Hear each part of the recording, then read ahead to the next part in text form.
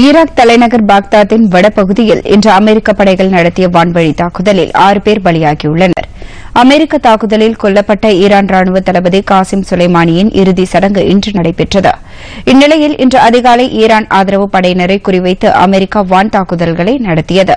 இதில் ஆறு பேர் உயிரிழந்ததாக தகவல் வெளியாகியுள்ளது. இந்த நிலையில் இஸ்ரேல் பிரதமர் பெஞ்சமின் நேதன்யாஹூ தனது கிரீஸ் பயணத்தை பாதியில் முடித்துக் கொண்டு நாடு திரும்பினார். ராணுவம் மற்றும் உளவுத்துறை தலைவர்களுடன் அவர் அவசர ஆலோசனை மேற்கொண்டார்.